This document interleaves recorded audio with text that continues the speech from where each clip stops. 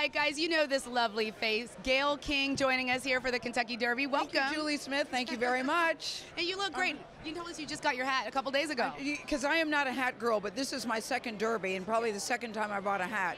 But I think you can't come to the Derby and not wear a hat. And I think if you're gonna if you're gonna go, commit.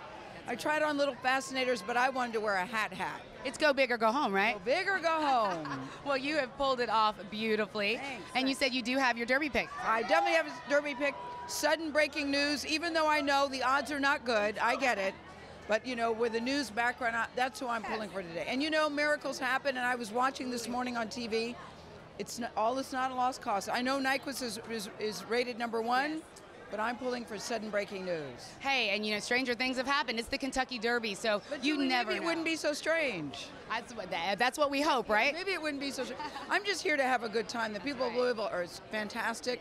The food is great. The people are great, and I think a horse running around the track is a majestic looking thing. Absolutely, and we hope that's what keeps you coming back year I after I will be back. I will be back. We love that. Well, and we'll have a great Thank time. you. Enjoy Thank you very yourself. much. Bye.